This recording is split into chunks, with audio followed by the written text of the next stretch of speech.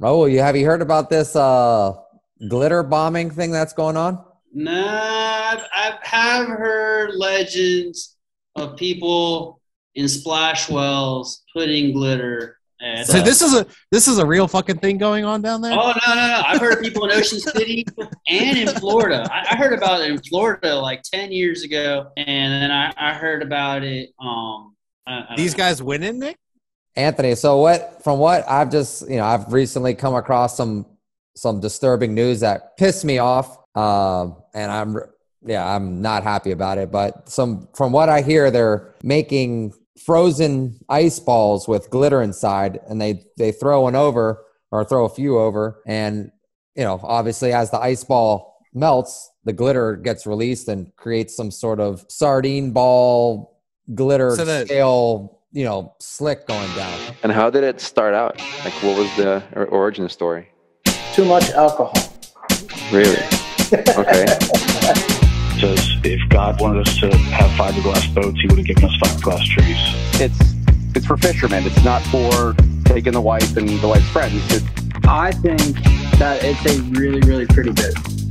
And then there was a blur that went by and ended up in the cockpit, as Yeah. far as if I can remember Uh-huh. correctly. Welcome to the State of Sport Fishing Podcast. I'm Nick Carullo. I'm joined with me Anthony Pino with Hooked Optics and captain of the Blood Money. Tonight, our guest we have Raul Gonzales, captain of the Bar South, and Shay Danzig, uh, first mate aboard the Marlin Darlin, uh, and both owners and creators of EZ Bait Rigging. Uh, welcome, guys. Thanks for joining us. Thank you. Thanks for having us. So, uh, yeah, tell us, you know, why don't you go and just kind of tell us who you are, uh, how you got into the industry, and introduce yourself.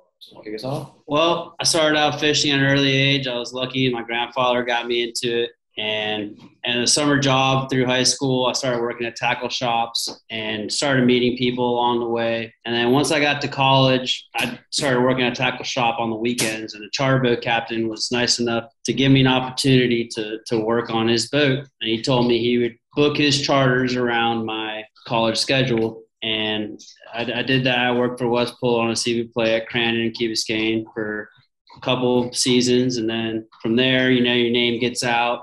And I fished for Frank Godwin, and fished for Mike Puller, and then I got, you know, once you once you build up the repertoire from there, then the private boats start to, you know, find out about you. And I was lucky enough to meet Dr. Joy and Neil Preston on the Joyride, and that was my first real private job. Did that for a few years. And i actually got to run that but it was a 46 bertram for a year. And um, then i met chester sims on the lights out. And we had an awesome career together you know i fished with, with him for six years and You did- pillaged Ocean City for like four years in a row. Took everybody's money, is what happened. yeah 2013 and 2015 we, we won 2.4 million dollars we're very blessed and we did all that with o-rings we were using o-rings and we got we're very lucky with o-rings and then um, i got the opportunity to run the bar south with shay or and with on, on the rob Rob Go Goethe. there, yeah. I was on the Marlin Darlin at that time. We were building a new boat, and we were d- down. I had worked in the Bar South before that. Friends with everybody, friends with Raul. So my boss was nice and let me go fish the season with them in Ocean City. Just but we didn't have much going on. So Shay was really good with the swivels. And I fished with him a handful of times on the Marlin Darlin. And I, I had issues snapping on the swivels. And then at the end of, you know, the bait change, you'd have to cut the swivel off. And, and it just didn't seem like a good idea to me. And, and Rob Gauthier was really adamant about us fishing that season with the swivels. So it just occurred to me, I'm like, why don't we just try to dip a, a, a bigger swivel in a rubber coating and, and see if it'll hold and and it's just it just makes a lot of sense you know and, and that's and that's how we came up with the idea and, and that's how we're I think we uh, started talking about it Florida on our drive to Ocean City, maybe around Jacksonville, and I think by uh, maybe by South Carolina somewhere, we kind of got the way we can still make them to this day. Did you guys have a lot of challenges with uh like use the right sort of rubber that you use with the swivels? Like I remember I remember you saying that it took a while. we got lucky and, and we tried two different things and, and, and one definitely has been working out the best you know it's definitely labor intensive but um it, it's definitely given us the best product as far as durability and, and ease of penetration and use. Got it. Gotcha. And explain uh to you know somebody that doesn't you know know what your swivels are. You know how would you tell them uh you know the the pros and pros to it? So when I first with the swivels, um, every hook we use, every different style of fishing we did, we had to have a different swivel. So I had like a toolbox and it had 50 dividers in it. And I keep a hook in it with a label. Might have been like an 8 9 pitch bait thing, something. And each swivel had a, each hook had have a different swivel. Maybe the barb on the, the machine that made the hook would come out differently. So that swivel might not work and hard. You try to snap it onto a bait, you couldn't. Very difficult to snap it on, you know. The amount of uh, quantity and variety that we needed was incredible. I would have to snap them on before I rigged the bait. A lot of waste with leaders and whatnot. So we wanted to get a way that we could snap one swivel into a lot more different hooks. And this way you can snap all those op- more options into one swivel. And what didn't make sense was it pinched the barb too. So you, in that process of snapping the swivel on, now your barb, what, what keeps the hook in the fish, is, is pinched down. You know, so that fish jumps or something like that. There's a higher probability of the hook, you know, coming out. Gosh, that I I had had the same. I'd had the idea at some point to to dip them like that. And I never really said anything to anybody, but you guys figured it out, and I think it's amazing. It's, I mean, I just it's the only way to roll now. You know, I think. No, That's the name, easy. my buddy that showed me the first time I'm Marndar when I fished with them, I want my good friends come with me, and he could snap them on so easy, and it bothered me that he was so much better at it than me. I'd wake up early, hour ahead, just Yeah, yeah. To keep up with my buddy because I know he could do it, and I couldn't. Like man, Yeah, I rem- hard. I remember Wait, fishing with uh JT and Taylor Beckford one day on the Chasing Tails in Costa Rica, and they were just so they could use the, the cutters and clip them on Yeah, there. that Like was they could this do, guy. That and I was, was this like- guy. My other was buddy like- was the same with me to Raul. That other Yeah. guy, he was like that. and to I me. was like, how do you do i was like how do you do that and you know and i could never figure out even how to how to do it and then by that time you know for us we were slipping an o-ring using an oversized swivel and slipping an o-ring over a hook but you guys kind of took it all Well, then it's one more step, and then Yeah, that exactly. O-ring can slide up onto the barb. You know, it's kind of no, I, we did I it for the simplicity, well, not. But then once we did it, then we started finding some other advantages of it too. It seemed like maybe the resistance of the rubber on it, like the way I rig my baits, they almost never foul. Before I foul like you know a handful of baits a day. I, might, I still foul some, but like that number Yeah. went way down. Then then we figured out the barb thing and found out a lot more advantages after using Yeah. it. what is it so you guys both work have full-time jobs raul you're captain of the bar south and and shay you're made on the maid on the marlin darlin you guys both fish very very heavy schedules in in the dr and and and raul when you come up to maryland and when you guys fish in south florida what it how what's it like juggling the two because you guys i mean anytime i order something from you guys online i like get a text from Raul saying hey you want to do this or you want to do this i think the the customer service is pretty solid considering you know you have you both have full full-time jobs you know Definitely hard. You get Yeah. also get feedback from people like you just said. A lot of stores like, man, you actually get your product, and during COVID, yeah harder to get stuff now. Been able to keep up, but it's definitely a struggle. Well, the biggest thing is thinking of the future. You know, you got to think of like the long term thing. You know, like these jobs come and go. So you, I, I think of this being not so much just my retirement, but you know, something that'll you know a small piece of that. So I, I, try definitely is a, a, a a labor of love. You know, you definitely got to find time at the end of a big day of fishing. You know, to package, put it, all the package together, print out the label, and then go to the post office. But at the end, you got to think of the big picture. You know what what's going to keep you going financially stable in the future. It's like a rewarding. I- thing. it's like a hobby that's able to benefit you. So it's nice doing something that still fishing related. We all Yeah. obviously enjoy fishing. Might not be the most fun work, but it's something in it that you know is better yeah for you. and you know i mean nick do you think of life after fishing because i mean i we're all kind of not not as young as we used to be i mean do you guys think do you guys think about that because i like I do. I mean, I do. I, do- I try everything. Every every day, I try to, you know, because I, I grew up charter fishing. I would see the older mates, the older captains, and you know, it, it, it takes a toll on your body and your family. And that first charter captain I had, he told me, he was like, "Listen, if you want the white picket fence and the family and everything, he's like, you know, you gotta get out now." And I was like, "No, I can't be like that," you know. But it, Yeah. you look at the you know people in the relation it, it, it definitely is hard yeah What did uh what did Bubba Carter say to us, Nick? He said this this job takes more than it gives to you. Yeah. I think is that's exactly what he said. And You you gotta know, love- I mean, I don't I don't always agree with that, but there are some pretty massive sacrifices that and you know, living, you know, the traveling and you know, even when you're not traveling, like here in Ocean City, I feel like my girlfriend, like during the tournaments, I'm just on the phone all day after I'm fishing, you know? Yeah, yeah. and like so but it it you know but beyond that like there's not like you know some of the some great jobs have like retirement and benefits but those a lot of these jobs don't last that long you know where you're in them for for 10 15 20 years so it's kind of like you gotta i think you gotta have some foresight to have something else going on you know that that maybe not is substantial now but maybe in the future might be you know able to fish when you want because you're still to fish. But if you get yeah yeah retiring to be fishing, And, I mean- when I want to. I mean, I yeah, I don't think any of us would change where we are right now, but you know, you do see that, like you said, Raul, like looking down the down the line, you know, look or look around, you're like, man, I just want to. There's going to be a time when I don't want to, you know, get up at three thirty in the morning and run ninety miles to maybe catch one white marlin. That my Quality time. It's all about quality time. So, No, Yeah, the but- first that first private boat, he he told me he's like, think of every private job like a wave. You know, you ride the wave, you enjoy it, but you understand that at the end of that wave, there's a beach. You know, Yeah, yeah. You know, there's no ride that goes forever. Yeah. You know, you, ten years in this industry is like hundred years in dog years. You know, it's it's rare. It's definitely rare. It's quite What, the uh, analogy, Raul. What's the?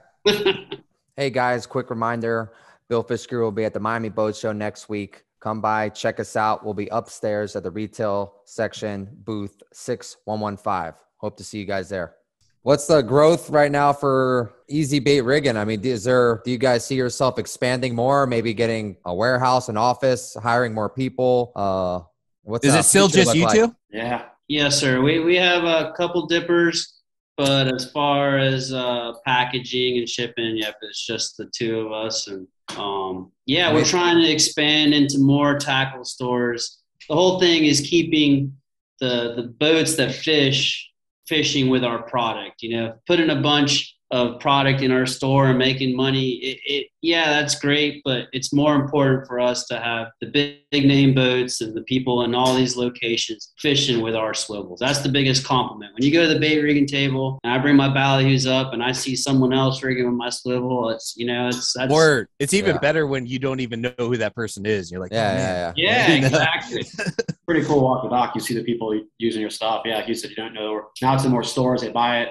Before we used to know everyone that had it because it was all direct. Yeah. Now Yeah. the stores we don't know. And like some days in Dominican, and one day I started writing down like all the good days on boats I knew had it. And there was days Yeah. was almost 100 fish caught on boats just using art stuff. Yeah. Pretty cool. And you like all those blue marlin, at some point, my hand touched, they were all hand touched. Could do that. Pretty sweet.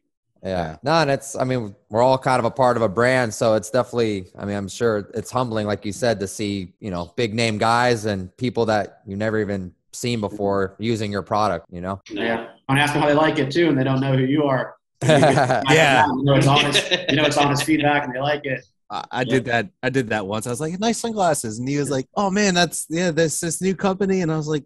I was wearing the same sunglasses, and I was it was it was cool to run in. And they bought it from my brother's optical store, and I was like, uh, he said, you know, it's great when people say great things about about your products or your service, you know, just because, and they don't even know they're talking to somebody who's got something to do with it. So, I mean, it can go the other way. It can go the other way around too. yeah, definitely had that a couple times, but Good to ask you to get good feedback. Your buddies don't always tell you that, like, they don't tell you something that they dislike. They'll just say good things. Yeah, people you don't know, yeah. know what everyone's thinking. It's all part of the process. You got to take the good with the bad, you know. And then if you don't get that negative impact or, or input, and you're not in the field, then you'll never know how to improve your product. Yeah, I, I I learned something uh from my uncle at Squid Nation. He, I always he would go anywhere and fish a tournament, you know, even if he wasn't sponsoring it or anything like that. And he would just, but he'd build relationships and people knew who he was uh, walking down the dock anywhere, you know. And I think it it's it's done really well for him to be like, you know, like everybody knows who he is. You can go up to him and talk to him and say, hey, you know, this is really working great, or your shit's falling apart, or something like that, you know. But it's it's right. Huh?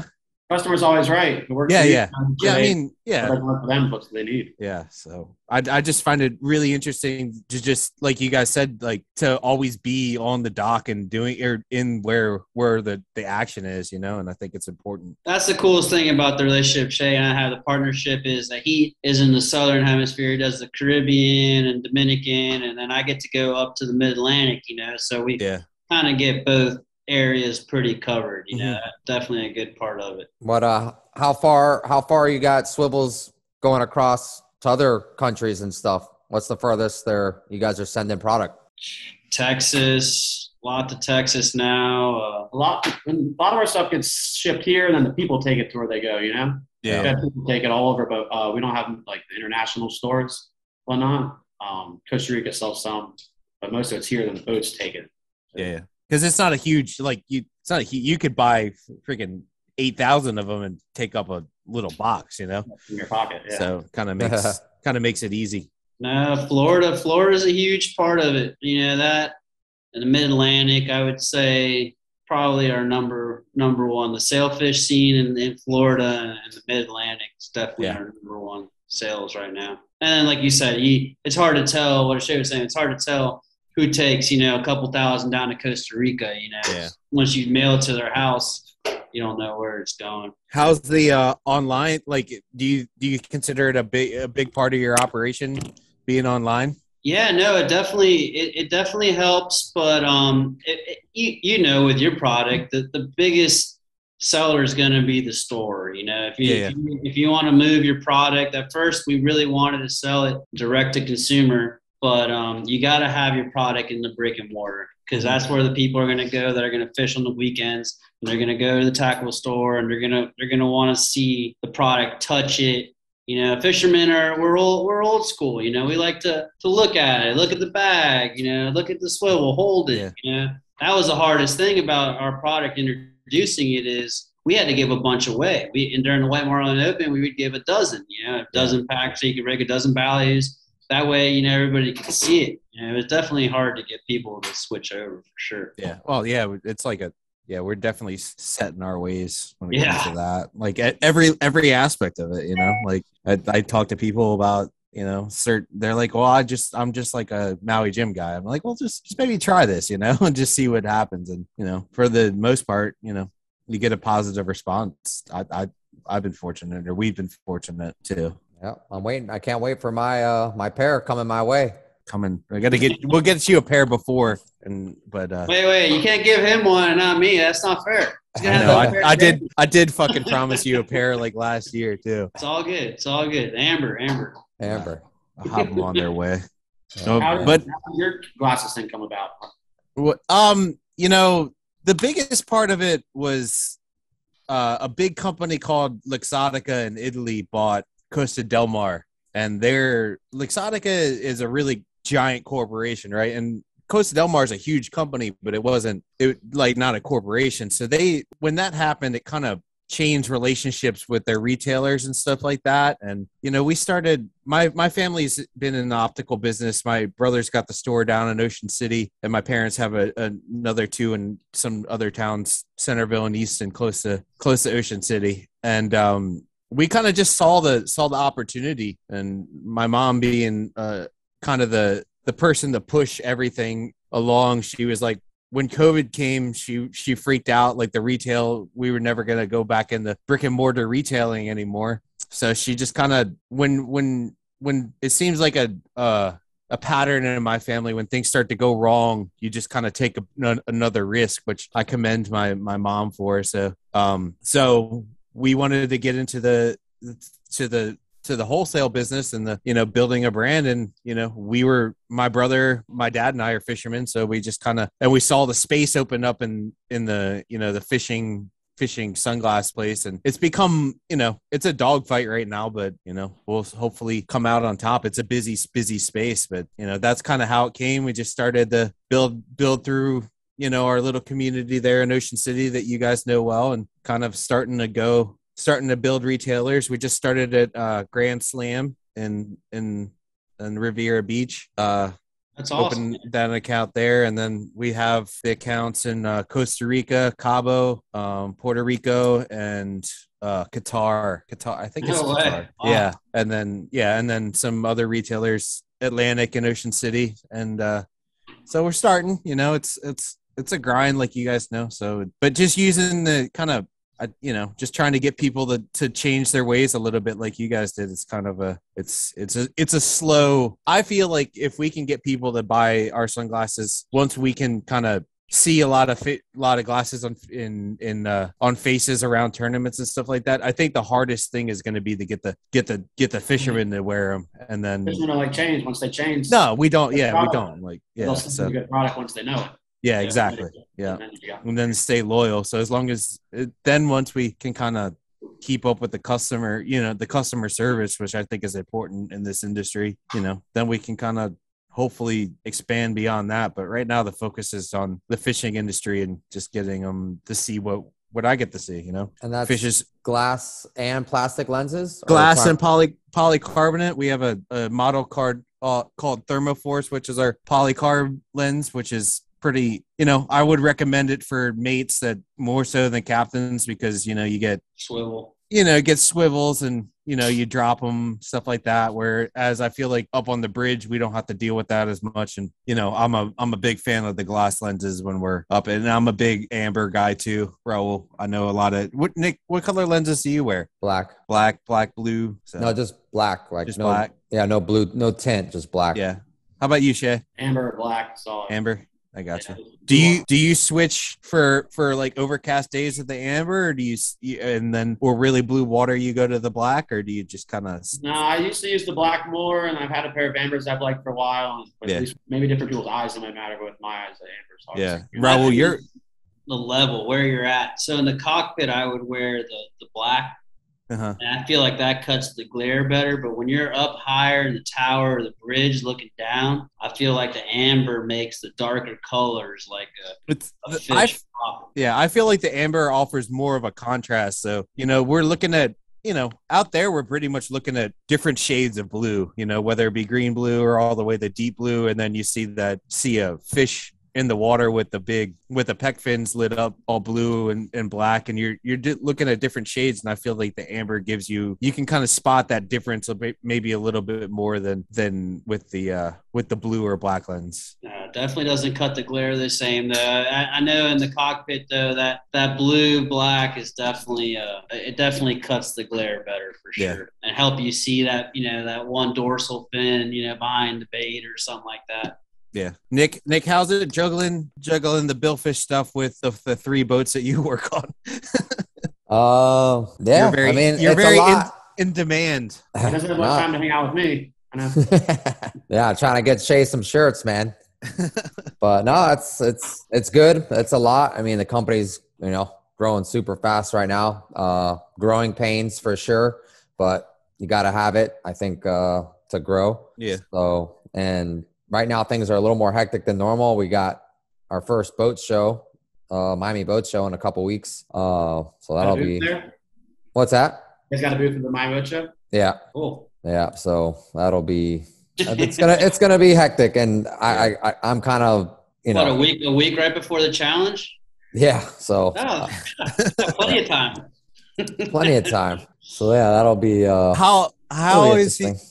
How are your companies received by the people you guys work for? Are they they on board and they're about it, or you know they Yeah, they kind of don't pay work? for it. They love it. We- Yeah, That's true. Or they Yeah. want to buy into it, but I tell them I'm not. I'm only making pennies. I'm not going to split pennies with No, they're, Yeah. they're both big supporters of us and happy for us and help anyway. yeah, They're both, both very nice people to work for. yeah. How about you, Nikki? Do you?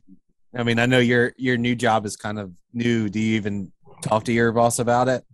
Yeah, actually, I just like last week, I gave the the boss lady, I gave her a nice little pink, you know, billfish outfit, and I gave the boss, you know, a couple of hats and shirts and stuff, and he loved it. And no, they want to, you know, do an order and stuff. So it's, It's good. cool They're when they it. can be they can be a part of it, you know, or they can at least encouraging. My people are super encouraging. You know, And they most, fly. most of the they people are pretty cool in this industry. Yeah, People Yeah, I mean, I think the cool thing about this industry is a lot of they're they're a lot of self-made people. you know, and you know, I think like you get to the the big yachts and the people think that they're kind of above above the the cruise where you know in sportfish boats you still sleep you're all crashing on the boat everybody's kind of sleeping in a similar type bed there's no there's no like crew on most sportfish boats you know yeah, there's no yeah you, you kind of gotta get along with the people or it ain't gonna work so pretty interesting Definitely uni- unique. yeah you can kind of be on it's kind of cool and you can do you guys feel like you learn a little bit from the owners you know being you know you get you develop pretty i mean raul you, you've been on the bar south for a while now and shay you've been on the in the marlin darlin for a while now too right Yeah, I think almost seven years now. yeah so like i mean do you do you feel like you guys learn business and life stuff from your bosses a little bit Oh yeah, pick their Yeah. brain as much as possible, and just, they're good examples. You know? yeah Probably. I definitely always try to ask every person I fished with, as as far as an owner, is, is what they do and how they got to that point. yeah And you, like you said, financially, you learn like they all have, you know, stocks in common. You know, they have some kind of plan in the in the future. Mhm. You know, and it, it, it's definitely very insightful for sure. Yeah, well, the I, I have a very yeah I, the same way. I, we have two owners on the boat, and one of them is like more like a like a a good friend or a brother, where the other one's a like. So we have a. I learn a lot from him, kind of in different like m- less of a mentor type thing, more of a like a we. He kind of talks to me on the same level, and then the other guy, Bill, is he's just I he I learn a lot for like I I actually go to him and be like, hey, what do you think about this or that or you know certain things. I think it's I, it's cool to get two perspectives like that. And but I I definitely learn a lot off of both of them. And honestly, everybody uh, on my boat, I'm fortunate. They're they're all kind of their own business owners, and um all of our anglers I learn a lot from. I think it's it's cool to be able to relate to somebody with something like fishing, and you know, because if we were typical people in their company making the sort of the same sort of money, we'd probably be you know six or eight steps away from actually talking to them. You know, where know your name. you know, yeah, they might not even know your name. You know, Yeah. They were you know now you just get phone calls from them five times a day wondering about the weather or how the fishing is. You Part of the, part of the family, going to Yeah. birthdays. yeah so it's it's it's a cool privilege kind of perspective that we get to and you know if you play it right you can really learn a lot from these guys i think it's kind of special to, to be able to have that Absolutely, very blessed. and then you get the party with rob all the time fun too Not looking forward to this summer. what's uh, what's the plan? Uh, well, the going in deep, you know, Larry passed away, uh, you know, and uh, he was always the head one to throw all the parties there on the dock. So, ah yeah, I can see, I can already see a little glimmer in his eye. you're gonna need to get a bigger boat to have the parties like they had though Uh, no. Oh, no, no, no, no, no, no. I like the fun size. yeah me too Yeah. I- it's crazy. You look around Ocean City and you see these 70, 80 footers, and I'm like, I'll just find on what I got right here. When are they going to redo the docks there to make room for all these 70 and 80 footers? I don't know. Hopefully, I, I would assume relatively soon, you know, next couple of years. I've heard it's coming, yeah. They're they're running out of space. I, I don't know for sure, but you'd have to think they did, they are because they're definitely running out of space. Oh, when they built that marina, you know, big boat was a 60 foot boat. They I what I I know for a fact somebody was like, I can't believe you're building this many big slips. You're never gonna fill them. And now There's a waiting now list. now there's a waiting list. Yeah. So, Crazy. It's definitely a heck of a facility. Best marina. I, I mean, I've been to Los Sueños and I've seen Cap Cana. I've seen a bunch of other marinas. That that definitely the facilities and the service. There's nothing like that in the world. I don't. Yeah. I I, that I know of. You know, haul out slip and Atlantic tackle, where you can outfit a whole boat. Buy Yeah. bait. I mean, it's just a Caterpillar dealership right across. You know, you got Carter Cat right there yeah. and then the staff, you know, everyone's so, you know, all the dock hands, and, and then you got the restaurant, and then you got the tiki bar, you know, teasers, Yeah. you got the nightlife. I mean, it's definitely a It's a special place in the summer, man. That's for sure. definitely is a cool spot. Very Nick, you're gonna have to come up, man. Yeah, man. I think you Got to come up. I bet I, I I did one. I did three the three tournaments up there a long time ago, but haven't been up what, since. what boat was that on? Uh, the hands off with that kid Paul Siddell. He used to fish on the Crazy Salts. That was a while ago. I went to college with him. I got you. It's cool up there. You never know what you're gonna catch. You know, you can get like a Duffie sized marlin or big Uh-huh. eye, you know, or yellowfin, white marlin. I mean, it's pretty. I mean, growing up in South Florida, you know, we got like these little baby gaffs or something like that. You know, never really needed to have like flying gaffs ready or you know Yeah. fish 130s or something like that. You know, it's pretty cool. You go out to the canyons and just really never know what sea They never eat the right bait though. No, Yeah. they No. always want to come up on the dink pole. Yeah. At least from my experience. Yep, definitely. Raul, you have you heard about this uh, glitter bombing thing that's going on? No, I've, I have heard legends of people in splash wells putting glitter. You know, splash well is a an in-deck well with holes through the hull, and I have heard years ago. I don't want to name any names, but I have heard of yes, I. I I have heard. I don't know how effective it is, but um, I have heard. And then I, I've heard in Ocean City as well, as in chunking for the tunas. I've heard of people mixing plastic glitter in with their chunks of sardines or whatever to get the, the fish up. Well, I, from what I hear, I guess it's. I mean, I kind of just found out about this, and I guess there's some people doing it, and I've already had a talk with Brick running the JJ that it's not going to be allowed, and you know now I'm hoping to talk to Jamie, and hopefully Jamie's on board with it. Yeah, I just don't think it's good. I mean, you got all this pla- you got so much trash in the ocean. They're, they're making all this big deal about the microplastics, and you're gonna dump a bunch of glitter in the water. Like I don't. Yeah. Yeah, So a- this is a this is a real fucking thing going on down there. Oh no, no, no! I've heard of people in Ocean City and in Florida. I, I heard about it in Florida like ten years ago, and then I, I heard about it. Um, like I said, I don't want to name any names, but Yeah, I, I know, yeah, I know some people that have done it. But at the end of the day, is I, I don't. I, I don't These know. guys winning, Nick?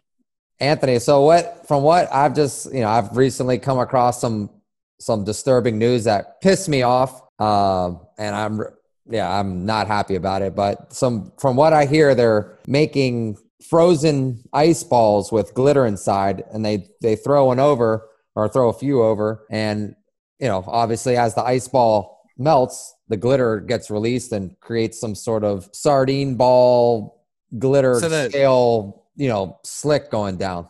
Huh. So, but did the, does it, does it attract bait fish or just regular just sails or like the the fish you're trying to catch? You know, I guess it's mimicking like sails balling up a ball of sardines, you know? Yeah. And and I guess that, you know, maybe it, it, it does create It's it's almost like fish. it's almost like chumming is what you're. That- well, that's to me what it is. It's like Yeah. a, it's like a gray it's a gray area area. of of chumming, which, you know, we're not allowed to chum, so and then also you're polluting, so it's like Yeah. Yeah, that's what I think. The bigger part of it is you're throwing how much glitter you're throwing. I mean, that's just Yeah. So I didn't I, di- I didn't know if they you could like pull up on a on a certain spot with some s- and mark some bait and then throw out the glitter and then have sardines or whatever come come swim behind your boat and then you just got a bait ball behind the boat. That Yeah. would be. And then the sardines would sardines would eat the glitter and that's not good. Now, like Nick said, you know, when you get a ball of bait going and then you get a feeding frenzy, I've seen in Ocean City too on the sardines. What you see is just a freaking thing of scales going Yeah. yeah, out underneath, you know. So the fish are Yeah. just they're they're ingrained with that. So as soon as they see that coming down the water column, they're, they're going to follow that up and then look at your at your baits. You know, I, I could see it being an advantage for sure, but Absolutely. definitely not not a fair one. But Yeah. it, there's a gray there's a definitely gray area when it comes to basically you're basically chumming without chum. Correct. That's what you kind of as far as a competitive thing, not not not say they're leaving leaving behind the that you're actually just throwing plastic into the ocean. Um, from a competitive thing, it's you're basically chumming without. Yeah, and I Out and like chum. Raul said, I absolutely think it it is an you're create you're giving yourself an edge over other boats because you're creating that sardine fucking ball when instead of sails or white marlin are balling them up. When you like you said, Yeah. Raul, when you look at that from the tower or bridge, you, it literally looks like already a glitter ball already. So it's you're Yeah, and that's what you're creating. You know. Yeah, I got you. artificial bait ball. Wow. Interesting. it's sad how you know people. I mean, there's different things you can do to get an edge, you know, within within the rules, you know. But that that that does just doesn't. I mean, like I was saying earlier, we make a living off the ocean. You know, why would you want to be putting all that into the ocean? Yeah, it Yeah. doesn't, Yeah. doesn't make sense. It's Sad. fascinating. It's like uh trolling around with a dead tinker. Yeah. I thought a glitter bomb was something said to somebody didn't like. They open up in their house and it makes a big mess inside. That was news to me. Yeah. You ever seen What was that? I, glitter bomb. I thought you'd go online, you order a glitter bomb, send it to somebody, they open the pack. I thought- in their house, the glitter explodes everywhere. They got a mess. When yeah, when Nick when Nick was saying that, I just thought it was some like prank that was going around the docks down there. No, it's funny. I stay out of the drama. Like I said, I, I- I knew it was South Florida captain that had done that a while back. I don't know if he still did it, and he, I, I'm pretty sure he didn't have much success with it. And then I knew of a of a private boat in Ocean City that also did that in Huh. chunking, chunking for yellowfin tuna. And uh, Huh. yeah, I- I've ha- I've heard of it, but I would have never thought about you know trying to use it in a tournament. I mean, I wouldn't. That's just interesting, but yeah. I could I could see why it would annoy people. You know, or it's definitely a. I could see why somebody would try it, and I could see why other people would be pissed off about that person or that group of people trying it because it, it's a fucking gray area. You know, And there's a You're market trying to exploit that gray glitter. area. Oh, there you go. Biodegradable glitter. Yeah, but it can't Shay, be. fish I don't need. We don't need to give any ideas out. Always thinking here. Easy, easy you're, glitter. you're, you're not going. You're Easy. not, Not non-scented, so it's not jump. Yeah. I thought you're on my side with this. Got to think of life after fishing, man. You got to. There won't be any more fishing if we just keep on throwing glitter in the and the Right. sardines eat them. Well, according to Bubba Carter, there is no life outside of fishing. So Super duper crazy. super duper crazy. That guy's a legend, man. He's a legend. That was a good one. I, I didn't Yeah. start logging my billfish till I met him, and I, I- I met him once in uh, St. Thomas, and he started spitting off how many thousand white sailfish. How I'm like, wow, like, are you kidding me? And then I was like, well, maybe I should really start writing this all down. Yeah, It's amazing never- how much he's written down. Yeah, I've never been one to write down because I just get I just get frustrated at how many more that everybody else. now now that there's really like I can go back and see how many more everybody caught than me. So I just I was always Kinda- thinking of the next one. You know, I was always worried about trying to get the next bite, the next bite. You know, but yeah but yeah, no, he's you can't can't and all the different boats he's had and the different venues he's he's fished out of for Venezuela, Costa Rica, the Caribbean. He's definitely the man. yeah Pretty impressive. pretty cool. Yeah. Um, so something me and Anthony always ask, uh, and both uh, we know both you guys are got badass stories, great, great fishermen. What uh, you know, one of you or both you, both you go take turns. You know, tell us, you know, one of your most memorable just experiences. Doesn't have to be a tournament, but just Yeah, it definitely doesn't have to be the third time you won a million dollars or something like that, Raul. no, no. but uh, yeah, just most memorable, uh, you know, fishing experience. Mine, I was probably like 14 years old and would have this uh, 27 foot center console, and we were selling it. It was the last day we had it. So we went out fishing at Conch Reef. Everyone was ballyhoo fishing. There's a local tournament going that didn't exist anymore. Two day tournament, and uh, fishing two. We only had three rods. Caught a couple triples. Ended up burning a rod off on a buoy. Got down to two rods. Me and my dad caught a 17 sails by uh, like one o'clock. Had to go Wow. in. The people were getting to come look at the boat. And the I think the two day tournament, the winning boat caught like six. No, it's crazy. Nice. Like it's like it meant to be. Just me and him in the middle of everybody. People like call my buddies like, "Come here and try." They're like, "They're not biting for us." And yeah, one of the most days that I sailfish I ever caught. Only three That's- rods. Me and my father. Pretty wild. Yeah, that's, That's a special day there, man. I think my most memorable was uh was on the lights out one of those white it was uh the mid Atlantic and Jeffrey Lederman. It was uh 2013. It was our first summer up there. And Jeffrey had never fished in the canyons. And it was our first day of fishing the mid Atlantic. It was day two of the tournament. And Bill Hogland on the lights out would make this big lunch, you know. So everybody would go inside to eat lunch. So, you know, everybody holds a rod, you know. So Jeff was like, well, let's just lock up these reels and eat lunch. I was like, no, no, no, no, no. We gotta. I learned from Backlash, you know, and, and his his boss at the time, and on the give it away, you know, you got to hold your your line. You got to beat the fish to the bait, you know, feel the bait. And so Jeff ate first, and then it was my turn to eat. And he, like I said, he hadn't he hadn't never fished in the freaking canyon. All right.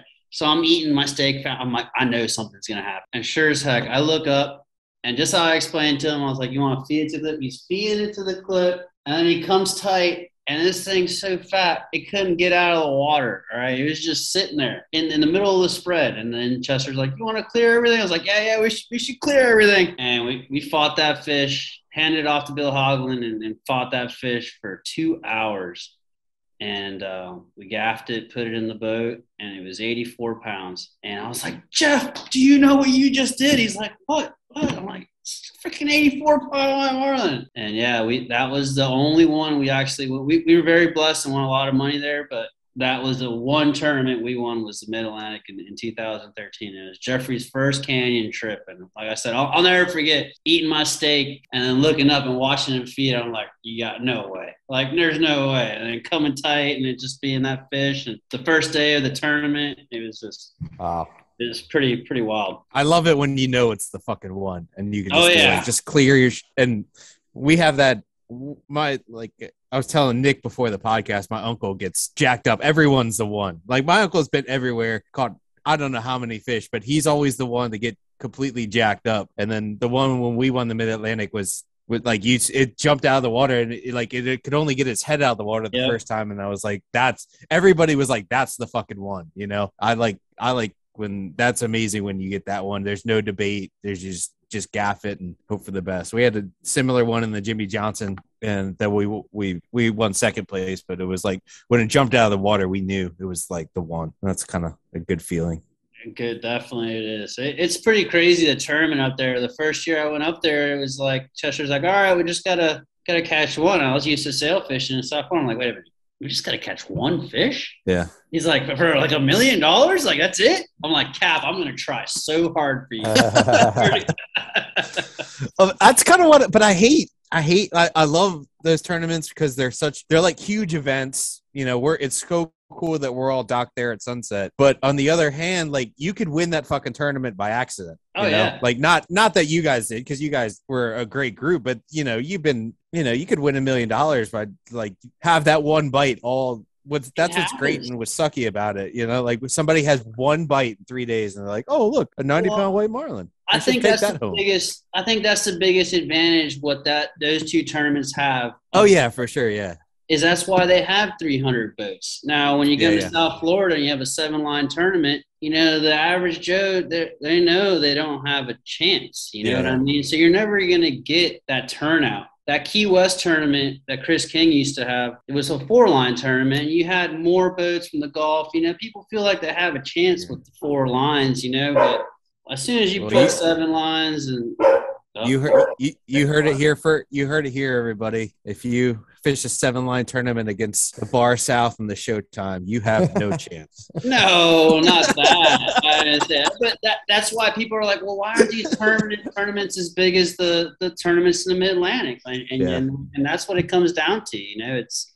it's it's definitely very competitive. Yeah. Chance yeah. We we won second place in the White Marlin Open last year, and everybody's like, "How much did you win?" And when it was like like it was like thirty five thousand dollars, and I was like jacked up because I'd always wanted to be top boat. Because if you look at the group, the the people that are top boat in that tournament, and it's like Bayless, Duffie, Spencer's, Ryan Higgins, like all my all the guys I looked up to in that region. And I was like so close. And everybody's like, Well, you didn't win any money or didn't win that much money. It's not that big of a deal. And I was like, Well, it's still a fucking big deal. You Absolutely. Know? But but it's still kind of in those tournaments, it's kind of like if you didn't win a million dollars, you're obviously just an asshole. So. you definitely uh definitely uh it's it's a big extreme for sure but there's nowhere yeah. else you can you know have a one in 300 chance of winning you know life life changing money.